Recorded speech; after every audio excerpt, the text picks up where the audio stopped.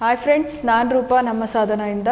So previous ಕ್ಲಾಸಲ್ಲಿ ನಾವು previous ಇಯರಲ್ಲಿ ಕೇಳಿರ್ತಕ್ಕಂತಹ ಫಿಸಿಕ್ಸ್ನ ಭಾಗದಲ್ಲಿ ಬರ್ತಕ್ಕಂತಹ ವಿಜ್ಞಾನದ ಪ್ರಶ್ನೆಗಳ ಬಗ್ಗೆ ಇನ್ ಡೀಟೇಲಾಗಿ ಸ್ಟಡಿ ಮಾಡ್ತಾ ಹೋಗಿದ್ವಿ. ಸೊ ಇವತ್ತಿನ ಕ್ಲಾಸಲ್ಲಿ ನಾವು ಅದೇ ಕ್ವಶನ್ ಸೀರೀಸ್ನ ಕಂಟಿನ್ಯೂ ಮಾಡ್ತಿದ್ದೀವಿ. ಯಾವ ಭಾಗದಲ್ಲಿ ಅಂತ ಹೇಳಿದ್ರೆ ರಸಾಯನ ಶಾಸ್ತ್ರ ಕೆಮಿಸ್ಟ್ರಿನಲ್ಲಿ ಕೇಳಿರ್ತಕ್ಕಂತಹ ಪ್ರಶ್ನೆಗಳು. ಸೊ ಅದರಲ್ಲಿ ಕೆಮಿಸ್ಟ್ರಿ ಭಾಗದಲ್ಲಿ ಕೇಳಿರ್ತಕ್ಕಂಥ ಪ್ರಶ್ನೆಗಳಲ್ಲಿ ಮೊದಲನೇದಾಗಿ ಪರಮಾಣು ರಿಯಾಕ್ಟರ್ನಿಂದ ಪರಮಾಣು ಶಕ್ತಿ ಹೇಗೆ ಉತ್ಪನ್ನ ಆಗತ್ತೆ? ಅಂದರೆ ನಾವೇನು ನ್ಯೂಕ್ಲಿಯರ್ ರಿಯಾಕ್ಟರ್ಸ್ ಅಂತ ಹೇಳಿ ಕರಿತೀವಲ್ವಾ? ಸೊ ಅದರಲ್ಲಿ ಯಾವ ರೀತಿ ನ್ಯೂಕ್ಲಿಯರ್ ಎನರ್ಜಿ ಉತ್ಪತ್ತಿ ಆಗತ್ತೆ? ಸೊ ಪರಮಾಣು ಶಕ್ತಿ ಯಾವ ರೀತಿ ಪ್ರೊಡಕ್ಷನ್ ಮಾಡ್ತಾರೆ? ಸೊ ಯಾವ ವಿಧಾನ ಅಲ್ಲಿ ಅಳವಡಿಸಿರ್ತಾರೆ? ಅಂತ ಹೇಳಿದ್ರೆ ಫಸ್ಟ್ ಒನ್ ಪರಮಾಣುಗಳ ಬೆಸುಗೆ. ನೆಕ್ಸ್ಟ್ ಆಪ್ಷನ್ ಪರಮಾಣುಗಳ ಸ್ವಯಂ ಒಡೆಯುವಿಕೆ. ಸೊ ಪರಮಾಣುಗಳು ಏನಾಗಬೇಕು ಅಂತ ಹೇಳಿದ್ರೆ ಅವಕ್ಕವೇ ಒಡೆದು ಹೋಗತ್ತೆ, ಪರಮಾಣುಗಳು ಪರಮಾಣುಗಳು ಟಚ್ ಆಗಿ ಅಂತ. ನೆಕ್ಸ್ಟ್ ಒನ್ ಅನಿರ್ಬಂಧಿತ ಸರಣಿ ಕ್ರಿಯೆ ನೆಕ್ಸ್ಟ್ ಒನ್ ನಿರ್ಬಂಧಿತ ಸರಣಿ ಕ್ರಿಯೆ ಕಂಟ್ರೋಲ್ಡ್ ಚೈನ್ ರಿಯಾಕ್ಷನ್ ಸೊ ನಮ್ಮ ಈ ಪ್ರಶ್ನೆಗೆ ಸರಿಯಾದ ಉತ್ತರ ಬಂದು, ನಿರ್ಬಂಧಿತ ಸರಣಿ ಕ್ರಿಯೆ ಕಂಟ್ರೋಲ್ಡ್ ಚೈನ್ ರಿಯಾಕ್ಷನ್ ಸೊ ಅಲ್ಲಿ ನಡೀತಕ್ಕಂತಹ, ಅಲ್ಲಿ ರಿಲೀಸ್ ಆಗ್ತಕ್ಕಂತಹ ನ್ಯೂಕ್ಲಿಯಸ್ಗಳ ನ್ಯೂಕ್ಲಿಯೈಗಳನ್ನು ಸೊ ಒಂದು ನ್ಯೂಕ್ಲಿಯಸ್ ಇರುತ್ತೆ. ಸೊ ಅದು ಒಡ್ಕೊಂಡು ಒಡ್ಕೊಂಡು ಒಡ್ಕೊಂಡು ಒಡ್ಕೊಂಡು ಒಡ್ಕೊಂಡು ಎರಡೆರಡು ಏನಾಗುತ್ತೆ? ಆ ಒಂದು ನ್ಯೂಕ್ಲಿಯನ್ ನ್ಯೂಕ್ಲಿಯಸ್ ಒಡ್ಕೊಂಡು ಒಡ್ಕೊಂಡು ಒಡ್ಕೊಂಡು ಒಡ್ಕೊಂಡು ನ್ಯೂಕ್ಲಿಯಾನ್ಗಳು ರಿಲೀಸ್ ಆಗ್ತಾನೇ ಹೋಗುತ್ತೆ. ಸೊ ಹಾಗೆ ಆ ಒಂದು ಪರಮಾಣುವಿನಲ್ಲಿ, ಅಂದರೆ ಆ ಒಂದು ಚೈನ್ ರಿಯಾಕ್ಷನ್ ಹಾಗೆ ಕಂಟಿನ್ಯೂ ಆಗ್ತಾ ಆಗ್ತಾ ಆಗ್ತಾ ಆಗ್ತಾ ಆಗ್ತಾ ಹೋದಾಗೇ ಏನಾಗುತ್ತೆ? ಪ್ರೊಡಕ್ಷನ್ ಜಾಸ್ತಿ ಆಗುತ್ತೆ. ಸೊ ನ್ಯೂಕ್ಲಿಯರ್ ರಿಯಾಕ್ಟರ್ಗೆ ತುಂಬ ಎಫೆಕ್ಟ್ ಆಗುತ್ತೆ. ದಟ್ಸ್ ವೈ ನಮ್ಮ ನ್ಯೂಕ್ಲಿಯರ್ ರಿಯಾಕ್ಟರ್ಗಳಲ್ಲಿ ಏನು ಮಾಡ್ತಾರೆ? ಒಂದು ಅಡಾಪ್ಟೇಷನ್ ಮಾಡ್ಕೋತಾರೆ. That is controlled chain reaction so ನಿರ್ಬಂಧಿತ ಸರಣಿ ಕ್ರಿಯೆಯ, ಕ್ರಿಯೆಯನ್ನು ಬಳಸಿ ಏನು ಮಾಡ್ತಾರೆ? ಅಲ್ಲಿ ಎನರ್ಜಿಯನ್ನು ಪ್ರೊಡ್ಯೂಸ್ ಮಾಡ್ತಾರೆ. ಸೊ ನಮ್ಮ ನ್ಯೂಕ್ಲಿಯರ್ ರಿಯಾಕ್ಟರ್ ಅಂದ ತಕ್ಷಣ ನಾವು ಅಷ್ಟು ಈಸಿಯಾಗಿ ಬಿಡೋ ಹಾಗಿಲ್ಲ.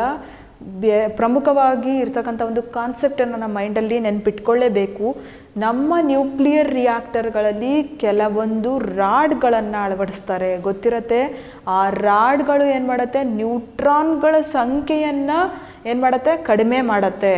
ಸೊ ಅಲ್ಲಿ ಬಳಸ್ತಕ್ಕಂತಹ ರಾಡ್ಗಳು ನ್ಯೂಕ್ಲಿಯರ್ ರಿಯಾಕ್ಟರ್ಗಳಲ್ಲಿ ಬಳಸ್ತಕ್ಕಂತಹ ರಾಡ್ಗಳು ಬೋರಾನ್ ಮತ್ತು ಕ್ಯಾಡ್ಮಿಯನ್ ಅನ್ನೋ ಒಂದು ವಸ್ತುವಿನಿಂದ ಮಾಡಲ್ಪಟ್ಟಿರುತ್ತೆ. ಈ ಬೋರಾನ್ ಮತ್ತು ಕ್ಯಾಡ್ಮಿಯಮ್ಗಳನ್ನು ಕ್ಯಾಡ್ಮಿಯಮ್ ಅಂತಕ್ಕಂತಹ ರಾಡ್ಗಳನ್ನು ನ್ಯೂಕ್ಲಿಯರ್ ರಿಯಾಕ್ಟರ್ಗಳಲ್ಲಿ ಅಳವಡಿಸೋದ್ರಿಂದ ಏನು ಮಾಡ್ತಾರೆ? ನ್ಯೂಟ್ರಾನ್ಗಳ ವೇಗವನ್ನು ಕಡಿಮೆ ಮಾಡ್ತಾರೆ.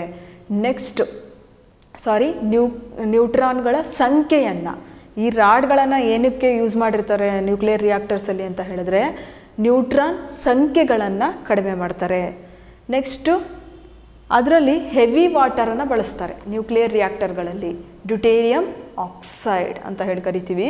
ಹೈಡ್ರೋಜನ್ನ ಐಸೋಟೋಪ್ ಆಗಿರ್ತಕ್ಕಂತಹ ಡ್ಯುಟೇರಿಯಂ ಆಕ್ಸೈಡ್ ಹೆವಿ ವಾಟರ್ ಭಾರಜಲವನ್ನು ಯೂಸ್ ಮಾಡ್ತಾರೆ.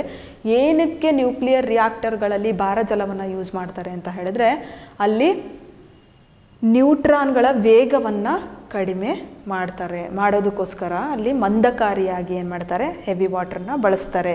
ಬಟ್ ಬೋರಾನ್ ಕ್ಯಾಡ್ಮಿಯಂ ಅಂತಕ್ಕಂತಹ ರಾಡ್ಗಳು ನ್ಯೂಟ್ರಾನ್ ಸಂಖ್ಯೆಯನ್ನು ಕಡಿಮೆ ಮಾಡಿದ್ರೆ ಭಾರಜಲ ಅಂತ ಒಂದು ಮಂದಕವನ್ನು ಯೂಸ್ ಮಾಡ್ತಾರೆ. ಸೊ ಅದೇನು ಮಾಡುತ್ತೆ? ನ್ಯೂಟ್ರಾನ್ಗಳ ವೇಗವನ್ನು ಸ್ಪೀಡ್ ಆಫ್ ನ್ಯೂಟ್ರಾನ್ಸ್ ಏನಿರುತ್ತೆ ಅದನ್ನು ಕಂಟ್ರೋಲ್ ಮಾಡೋದಕ್ಕೆ ಬಳಸ್ತಾರೆ. ಸೊ ಈ ರೀತಿಯಾಗಿ ನಿರ್ಬಂಧಿತ ಸರಣಿ ಕ್ರಿಯೆಯಿಂದ ಏನು ಮಾಡ್ತಾರೆ? ಕಂಟ್ರೋಲ್ಡ್ ಚೈನ್ ರಿಯಾಕ್ಷನ್ನಿಂದ ಪರಮಾಣು ಶಕ್ತಿಯನ್ನು ಅಲ್ಲಿ ಉತ್ಪಾದನೆ ಮಾಡ್ತಾರೆ. So the next one hydrogen ಬಾಂಬ್ನ ಕಾರ್ಯತತ್ವ ಅವಲಂಬಿಸಿರುವುದು. ನಾವೇನು ಮೋಸ್ಟ್ ಡೇಂಜರಸ್ ಅಂತ ಹೇಳಿ ನಾವೇನು ಮಾತಾಡ್ತೀವಿ ಅಟಾಮಿಕ್ ಬಾಂಬು ಹೈಡ್ರೋಜನ್ ಬಾಂಬು ಅಂತೆಲ್ಲ ಏನು ಮಾತಾಡ್ತೀವಿ. ಸೊ ಅಲ್ಲಿ ಕೇಳಿರೋ ಪ್ರಶ್ನೆ ಹೈಡ್ರೋಜನ್ ಬಾಂಬ್ ಅಂತ ಏನಿದೆ, ಅದು ಯಾವ ಒಂದು ಕಾರ್ಯತತ್ವವನ್ನು ಅವಲಂಬನೆ ಅವಲಂಬನೆ ಮಾಡಿರುತ್ತೆ ಅಂತ ಹೇಳಿಕೊಟ್ಟಿದ್ದಾರೆ. ಸೊ ದ ಫಸ್ಟ್ ಆಪ್ಷನ್ ರಾಸಾಯನಿಕ ಪ್ರತಿಕ್ರಿಯೆ. ಸೆಕೆಂಡ್ ಆಪ್ಷನ್ ಪರಮಾಣು ಬೀಜ ಸಮ್ಮಿಲನ. ಸೊ ಥರ್ಡ್ ಆಪ್ಷನ್ ಪರಮಾಣು ಬೀಜ ವಿದಳನ. ಅಂದರೆ ಪರಮಾಣು ಬೀಜ ಸಮ್ಮಿಲನ ಅಂದರೆ ಫ್ಯೂಷನ್ ಇಲ್ಲಿ ಪರಮಾಣು ಬೀಜ ವಿದಳನ ಫಿಜನ್ ಅಲ್ಲಿ ವಿದಳನ ಆಗ್ತಾ ಇದೆ ಅಂತ. ಸೊ ದ ಲಾಸ್ಟ್ ಆಪ್ಷನ್ ಸ್ವಾಭಾವಿಕ ವಿಕಿರಣ ಪಟುತ್ವ. ಸೊ ಹೈಡ್ರೋಜನ್ ಬಾಂಬು ಯಾವ ಒಂದು ಕಾರ್ಯತತ್ವ ಅವಲಂಬನೆ ಆಗಿರುತ್ತೆ ಅಂತ ಹೇಳಿದ್ರೆ ಪರಮಾಣು ಬೀಜ ಸಮ್ಮಿಲನ ಸೊ ಅಲ್ಲೇನಾಗುತ್ತೆ? ಫ್ಯೂಷನ್ ಆಗುತ್ತೆ ಸಮ್ಮಿಲನ ಆಗತ್ತೆ. ಸೊ ವಾಟ್ ಅಬೌಟ್ ಪರಮಾಣು ಬೀಜ ಸಮ್ಮಿಲನ ಅಂತ ನೋಡೋದಾದರೆ, ಎರಡು ಹಗುರವಾದ ಅಣುಗಳು ಸೇರಿ ಭಾರವಾದ ಅಥವಾ ಅತಿಯಾದ ಹೆಚ್ಚು ಶಕ್ತಿಯನ್ನು ಬಿಡುಗಡೆ ಮಾಡುತ್ತೆ. ಹಗುರವಾಗಿರ್ತಕ್ಕಂತಹ ಅಣುಗಳು ಒಟ್ಟಿಗೆ ಸೇರಿಕೊಂಡು ಭಾರವಾಗಿರ್ತಕ್ಕಂತಹ ಅಣುಗಳಾಗಿ ಮಾರ್ಪಾಟಾಗುತ್ತೆ. ಸೊ ಈ ರೀತಿ ಹಗುರವಾದ ಅಣುಗಳು ಸಮ್ಮಿಲನ ಹೊಂದಿ ಏನಾಗುತ್ತೆ? ಅತಿಯಾದ ಶಕ್ತಿ ಹೈ ಎನರ್ಜಿ ರಿಲೀಸ್ ಆಗತ್ತೆ. ಸೊ ದಿಸ್ ಕಾನ್ಸೆಪ್ಟ್ ಮೇಲೆ ಪರಮಾಣು ಬೀಜ ಸಮ್ಮಿಲನ ಅಂತಕ್ಕಂಥ ಒಂದು ಕಾನ್ಸೆಪ್ಟ್ ಮೇಲೆ ಹೈಡ್ರೋಜನ್ ಬಾಂಬ್ಗಳು ಕಾರ್ಯತತ್ವ ಮಾಡತ್ತೆ. ಸೊ ದ ನೆಕ್ಸ್ಟ್ ಒನ್ ಶುಷ್ಕ ಕೋಶಗಳಲ್ಲಿ ಮಂದಕವಾಗಿ ಬಳಸುವ ವಸ್ತು. ಈ ಶೆಲ್ಗಳಲ್ಲಿ ಬಳಸ್ತಕ್ಕಂತಹ ಮಾಡರೇಟ್ ಯಾವುದು ಅಂತ ಕೇಳ್ತಾರೆ ಎಕ್ಸಾಮಲ್ಲಿ ಸೊ ಈ ಒಂದು ಶುಷ್ಕ ಕೋಶಗಳಲ್ಲಿ ಬಳಸುವ ಮಾಡರೇಟ್ ಅಲ್ಲಿ ಕೇಳಿದ್ದಾರೆ ತಾಮ್ರ ಜಿಂಕ್ ಕ್ಯಾಡ್ಮಿಯಂ ಗ್ರಾಫೈಟ್ ಸೊ ನಮ್ಮ ಪ್ರಶ್ನೆಗೆ ಸರಿಯಾದ ಉತ್ತರ ಬಂದು ಗ್ರಾಫೈಟ್ ಈ ಗ್ರಾಫೈಟನ್ನು ಕಾರ್ಬನ್ನ ಬಹುರೂಪ ಅಲ್ಲೋಟ್ರೋಪಿಕ್ ಫಾರ್ಮ್ ಆಫ್ ಕಾರ್ಬನ್ ಅಂತ ಹೇಳಿ ಕರಿತೀವಿ. ಸೊ ಈ ಅಲ್ಲೋಟ್ರೋಪಿಕ್ ಫಾರ್ಮ್ ಏನಿದೆ ಗ್ರಾಫೈಟ್ ಇದೇನು ಮಾಡ, ಇದು ಈ ಗ್ರಾಫೈಟನ್ನು ಶುಷ್ಕ ಕೋಶಗಳಲ್ಲಿ ಮಾಡ್ರೇಟ್ ಆಗಿ ಯೂಸ್ ಮಾಡ್ತಾರೆ.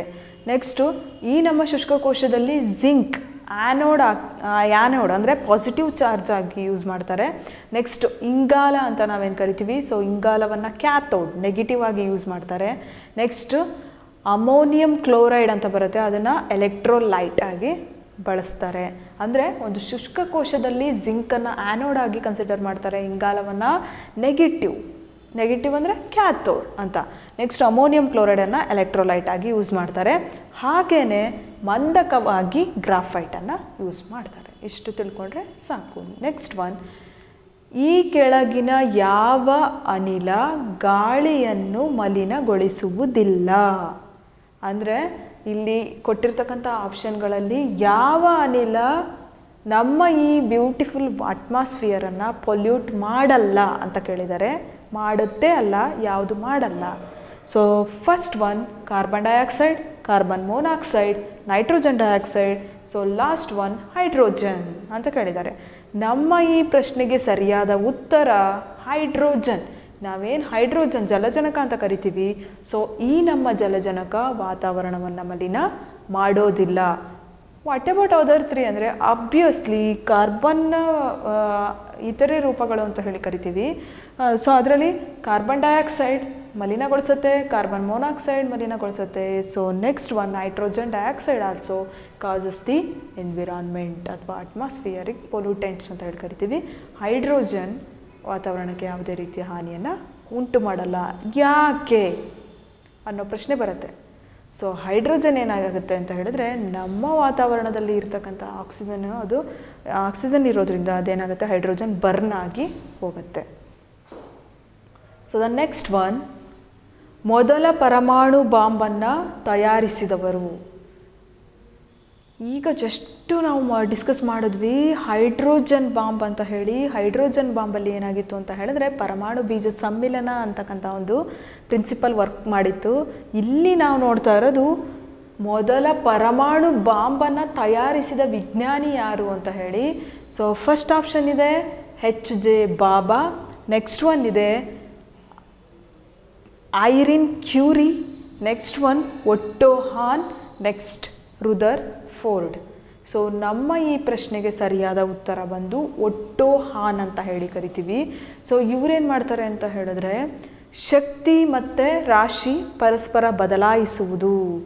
ಅಂದರೆ, energy and mass get interconvertible ಅಂತ ಹೇಳಿ ಕರಿತೀವಿ. ಸೊ ಆ ಎನರ್ಜಿಯನ್ನು, ಮಾಸನ್ನು ಏನು ಮಾಡ್ಬೋದು? ಪರಸ್ಪರ ಬದಲಾವಣೆ ಮಾಡ್ಬೋದು ಅನ್ನೋ ಒಂದು ಪ್ರಿನ್ಸಿಪಲ್ ಮೇಲೆ ಅವರು ಮೊದಲ ಪರಮಾಣು ಬಾಂಬನ್ನು ತಯಾರಿಸ್ತಾರೆ. ಅಂದರೆ ಮೊದಲ ಪರಮಾಣು ಬಾಂಬನ್ನು ತಯಾರಿಸಿದಂತಹ ಒಟ್ಟೋ ಹಾನ್ ಯಾವ ಪ್ರಿನ್ಸಿಪಲ್ ಮೇಲೆ ಪರಮಾಣು ಬಾಂಬನ್ನು ತಯಾರಿಸ್ತಾರೆ? ಸೊ ಹಿಂಗೂ ಅರೈಸ್ ಆಗ್ಬೋದು ಕ್ವಶನ್ನು ಸೊ ಅದಕ್ಕೆ ಸರಿಯಾದ ಪ್ರಿನ್ಸಿಪಲ್ ಬಂದು mass and energy get interconvertible ಅಂತ ಹೇಳಿ ಕರಿತೀವಿ. ಅಂದರೆ ರಾಶಿ ಮತ್ತು ಶಕ್ತಿ ಅಥವಾ ಶಕ್ತಿ ಮತ್ತು ರಾಶಿ ಪರಸ್ಪರ ಬದಲಾ, ಬದಲಾಯಿಸಬಹುದು ಅನ್ನೋ ಒಂದು ಪ್ರಿನ್ಸಿಪಲ್ ಆಧಾರದ ಮೇಲೆ ಒಟ್ಟೋಹಾನ್ ಪರಮಾಣು ಬಾಂಬನ್ನು ರೆಡಿ ಮಾಡ್ತಾರೆ. So the next one proton ಎಂಬ ಮೂಲಭೂತ ಕಣ ಕಂಡುಹಿಡಿದ ವಿಜ್ಞಾನಿ. J J Thomson Goldstein James Chadwick last one Rutherford so ನಮ್ಮ ಪ್ರಶ್ನೆಗೆ ಸರಿಯಾದ ಉತ್ತರ ಬಂದು ಪ್ರೋಟಾನ್ ಗೋಲ್ಡ್ ಸ್ಟೇನ್ ಸೊ ಇಲ್ಲಿ ಸ್ವಲ್ಪ ಕನ್ಫ್ಯೂಷನ್ ಆಗುತ್ತೆ. ಅದಕ್ಕೆ ಅದರ್ ತ್ರೀ ಆಪ್ಷನ್ ಇದ್ದು ತಿಳ್ಕೊಂಡು ನೆಕ್ಸ್ಟ್ ನಾವು ಡಿಸ್ಕಸ್ ಮಾಡೋಣ.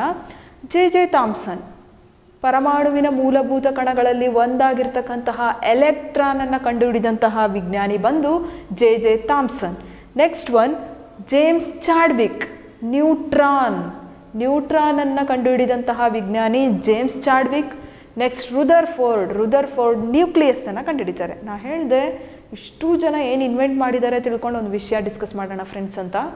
ಏನು ವಿಷಯ ಅಂತ ಹೇಳಿದ್ರೆ, ಪರಮಾಣುವಿನ ಮೂಲಭೂತ ಕಣಗಳು ಗೊತ್ತು proton neutron electron so proton already ತಿಳ್ಕೊಂಡ್ವಿ ನಾವು ಗೋಲ್ಡ್ ಸ್ಟೇನ್ ಕಂಡುಹಿಡ್ದ ನೆಕ್ಸ್ಟು ನ್ಯೂಟ್ರಾನ್ ಜೇಮ್ಸ್ ಚಾಡ್ವಿ ಕಂಡುಹಿಡಿದ್ರು ನೆಕ್ಸ್ಟ್ ಎಲೆಕ್ಟ್ರಾನ್ಸ್ಗಳನ್ನು ಜೆ ಜೆ ಥಾಮ್ಸನ್ ಕಂಡುಹಿಡಿದ್ರು ಇನ್ನೊಬ್ಬರಿದ್ದಾರೆ ರುದರ್ ಫೋರ್ಡ್ ಅದ್ರ ಬಗ್ಗೆನೇ ನಾವು ಡಿಸ್ಕಸ್ ಮಾಡೋದು.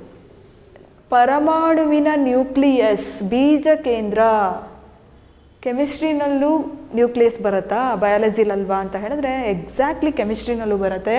Nucleus, but totally different from biological word ಏನಿದು ಪರಮಾಣು ಬೀಜ ಕೇಂದ್ರ ಅಂತ ಹೇಳಿದ್ರೆ ಪರಮಾಣುವಿನ ಬೀಜ ಕೇಂದ್ರದಲ್ಲಿ ಪ್ರೋಟಾನ್ ಪ್ಲಸ್ ನ್ಯೂಟ್ರಾನ್ ಎರಡೂ ಇರುತ್ತೆ. ಅದಕ್ಕೆ ಹೇಳ್ತಾ ಇರೋದು ಫ್ರೆಂಡ್ಸ್ ಕನ್ಫ್ಯೂಸ್ ಮಾಡ್ಕೊಳಂಗಿಲ್ಲ.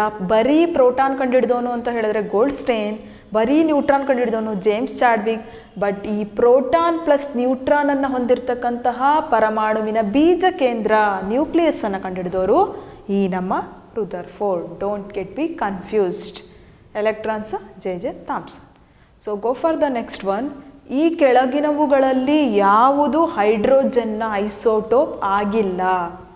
ಅಂದರೆ ಇಲ್ಲಿ ಕೊಟ್ಟಿರ್ತಕ್ಕಂತಹ ನಾಲ್ಕು ಆಪ್ಷನ್ಸ್ಗಳಲ್ಲಿ ಮೂರು ಆಪ್ಷನ್ಸ್ಗಳು ಹೈಡ್ರೋಜನ್ನ ಐಸೋಟೋಪ್ಸ್ ಆಗಿರತ್ತೆ. ಒಂದು ಮಾತ್ರ ಐಸೋಟೋಪ್ ಅಲ್ಲ.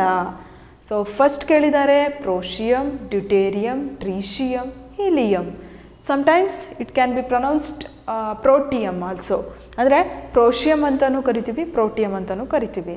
ಸೊ ಇದಕ್ಕೆ ಸರಿಯಾದ ಉತ್ತರ ಏನು ಅಂತ ಹೇಳಿದ್ರೆ ಫಸ್ಟ್ ನಮಗೆ ಗೊತ್ತಾಗಬೇಕು ಐಸೋಟೋಪ್ ಹೈಡ್ರೋಜನ್ ಗೊತ್ತು ಬಟ್ ಹೈಡ್ರೋಜನ್ನ ಐಸೋಟೋಪ್ ಅಲ್ಲ ಅಂತ ಕೇಳಿದ್ದಾರೆ. ಸೊ ಐಸೋಟೋಪ್ನ ಡೆಫಿನೇಷನನ್ನು ನೋಡ್ಬೇಕು ನಾವು. ಒಂದು ಧಾತು ಒಂದೇ ರೀತಿಯ ಪರಮಾಣು ಸಂಖ್ಯೆಯನ್ನು ಹೊಂದಿದ್ದು, ಬೇರೆ ಬೇರೆ ರೀತಿಯ ರಾಶಿ ಸಂಖ್ಯೆಯನ್ನು ಹೊಂದಿರುತ್ತದೆ. ಇಂತಹ ಧಾತುವಿನ ಪರಮಾಣುವಿಗೆ ಸಮಸ್ಥಾನಿ ಅಥವಾ ಐಸೋಟೋಪ್ ಅಂತ ಹೇಳಿ ಕರಿತೀವಿ. ಈಗ ಫಾರ್ ಎಕ್ಸಾಂಪಲ್ ಇಲ್ಲೇನಾಗತ್ತೆ ಅಂತ ಹೇಳಿದ್ರೆ, ಈ ಒಂದು ಆಬ್ಜೆಕ್ಟ್ ಇದೆ ಮೌಸ್ ಇದೆ. ಸೊ ಇದನ್ನು ನಾವು ಒಂದು ಪರಮಾಣು ಅಂತ ತಗೊಂಡಾಗ ಪರಮಾಣುವಿನ ಪರಮಾಣು ಸಂಖ್ಯೆ ಕೆಳಭಾಗದಲ್ಲಿ ಮೆನ್ಷನ್ ಮಾಡ್ತಾರೆ. ಪರಮಾಣು ರಾಶಿ ಸಂಖ್ಯೆ ಮೇಲ್ಭಾಗದಲ್ಲಿ ಮೆನ್ಷನ್ ಮಾಡ್ತಾರೆ. ಈ ಕೆಳಭಾಗದಲ್ಲಿ ಅಂದರೆ ಒಂದು ಪರಮಾಣುವಿನ ಕೆಳಭಾಗದಲ್ಲಿರ್ತಕ್ಕಂತಹ ಪರಮಾಣು ಸಂಖ್ಯೆಗಳು ಒಂದೇ ರೀತಿಯಾಗಿರುತ್ತೆ. ಮೇಲ್ಗಡೆ ಇರ್ತಕ್ಕಂತಹ ಪರಮಾಣು ರಾಶಿ ಸಂಖ್ಯೆ ಅಟಾಮಿಕ್ ಮಾಸ್ ನಂಬರ್ ಚೇಂಜ್ ಆಗಿರುತ್ತೆ. ಅಟಾಮಿಕ್ ನಂಬರ್ ಸೇಮ್ ಇರುತ್ತೆ ಅಟಾಮಿಕ್ ಮಾಸ್ ನಂಬರ್ ಚೇಂಜ್ ಆಗಿರುತ್ತೆ. ಅಂತಹ ಒಂದು ಪರಮಾಣುವಿನ ಐಸೋಟೋಪ್ಗಳಲ್ಲಿ ಒಂದಾಗಿರ್ತಕ್ಕಂತಹ ಹೈಡ್ರೋಜನ್ನ ಪರಮಾಣುಗಳು ಯಾವುದು ಅಂತ ಹೇಳಿದ್ರೆ ಪ್ರೋಷಿಯಂ, ಡ್ಯೂಟೇರಿಯಂ, ಟ್ರೀಷಿಯಂ. ಸೊ ನಮ್ಮ ಪ್ರಶ್ನೆಗೆ ಸರಿಯಾದ ಉತ್ತರ ಹೀಲಿಯಂ. ಈ ಹೀಲಿಯಂ ಅನ್ನೋದು ಹೈಡ್ರೋಜನ್ನ ಐಸೋಟೋಪ್ ಅಲ್ಲ. ಇನ್ನೂ ಕ್ಲಾರಿಟಿ ಕೊಡಬೇಕಂದ್ರೆ ಪ್ರೋಷಿಯಂನ ಪರಮಾಣು ಸಂಖ್ಯೆ ಒಂದು, ಪರಮಾಣು ರಾಶಿ ಸಂಖ್ಯೆನೂ ಕೂಡ ಒಂದು ನೆನ್ಪಿಟ್ಕೋಬೇಕು. ನೆಕ್ಸ್ಟ್ ಡ್ಯೂಟೇರಿಯಂ ಪರಮಾಣು ಸಂಖ್ಯೆ ಒಂದು, ಪರಮಾಣು ರಾಶಿ ಸಂಖ್ಯೆ ಎರಡು. ನೆಕ್ಸ್ಟ್ ಟ್ರೀಶಿಯಂ ಪರಮಾಣು ಸಂಖ್ಯೆ ಒಂದು, ಪರಮಾಣು ರಾಶಿ ಸಂಖ್ಯೆ ಮೂರು. ಸೊ ಏನಾಗುತ್ತೆ ಅಂತ ಹೇಳಿದ್ರೆ, ಒಂದು ಪರಮಾಣುವಿನಲ್ಲಿ ಪರಮಾಣುವಿನ ಸಂಖ್ಯೆ ಒಂದೇ ಇರುತ್ತೆ, ಪರಮಾಣು ರಾಶಿ ಸಂಖ್ಯೆ ಚೇಂಜ್ ಆಗಿರುತ್ತೆ. That we call it as isotope isotope of hydrogen ಅಂತ ಹೇಳಿದ್ರೆ protium deuterium tritium next one ಪರಮಾಣು ಸಿದ್ಧಾಂತವನ್ನು ಮಂಡಿಸಿದ ವಿಜ್ಞಾನಿ J J Thomson, James Chadwick, John Dalton, Niels Bohr. So ಪರಮಾಣು ಸಿದ್ಧಾಂತವನ್ನು ಮಂಡಿಸಿದಂತಹ ಅಟಾಮಿಕ್ ಥೇರಿಯನ್ನು ಫೈಂಡ್ ಔಟ್ ಮಾಡಿದವರು John Dalton. What about other three ಅಂತ ನೋಡೋದಾದರೆ ಜೆ ಜೆ ಥಾಮ್ಸನ್ ಪರಮಾಣು ಅಂತಕ್ಕಂತಹ ಒಂದು ವರ್ಡ್ ಇಂಟ್ರೊಡ್ಯೂಸ್ ಮಾಡಿದವರು ಜೆ ಜೆ ಥಾಮ್ಸನ್. ಜಸ್ಟ್ ನೋಡಿದ್ವಿ ಎಲೆಕ್ಟ್ರಾನ್ ಕೂಡ ಕಂಡುಹಿಡಿತಾರೆ. ಜೇಮ್ಸ್ ಚಾಡ್ವಿಕ್ ನ್ಯೂಟ್ರಾನ್ಗಳನ್ನು ಕಂಡುಹಿಡಿತಾರೆ ನೀಲ್ಸ್ ಬೋರ್ ಆಧುನೀಕರಿಸಿದ ಪರಮಾಣು ಸಿದ್ಧಾಂತ ಮಾಡರ್ನೈಸ್ಡ್ ಅಟಾಮಿಕ್ ಥೇರಿ ಈಗ ಆಲ್ರೆಡಿ ಜಾನ್ ಡಾಲ್ಟನ್ ಮಂಡಿಸಿರತಕ್ಕಂತಹ ಅಟಾಮಿಕ್ ಥೇರಿಯನ್ನು ರೀ ಮಾಡಿ ಮಾಡಿಫಿಕೇಷನ್ಸ್ ಮಾಡಿ ಏನು ಮಾಡ್ತಾರೆ ಅಂತ ಹೇಳಿದ್ರೆ, ಈ ನಮ್ಮ ನೀಲ್ಸ್ ಬೋರ್ ಅವರು ಒಂದು ಸಿದ್ಧಾಂತವನ್ನು ಮಂಡಿಸ್ತಾರೆ. ಅದಕ್ಕೆ ನಾವು ಆಧುನೀಕರಿಸಿದ ಪರಮಾಣು ಸಿದ್ಧಾಂತ ಅಂತ ಹೇಳಿ ಕರಿತೀವಿ. ಬಟ್ ಎಕ್ಸಾಮಲ್ಲಿ ಏನು ಮಾಡ್ತಾರೆ ಅಂತ ಹೇಳಿದ್ರೆ ಅಟಾಮಿಕ್ ಥಿಯರಿ ಫೈಂಡ್ ಔಟ್ ಮಾಡಿದ ಸೈಂಟಿಸ್ಟ್ ಅಂತ ಕೇಳಿದ್ರೆ ಡೈರೆಕ್ಟಾಗಿ go for John Dalton otherwise atomic theory modernised atomic theory ಆಧುನೀಕರಿಸಿದ ಪರಮಾಣು ಸಿದ್ಧಾಂತ ಅಂತ ಕೇಳಿದರೆ go for Niels Bohr so this is all about chemistry part of question series thank you so much for watching this video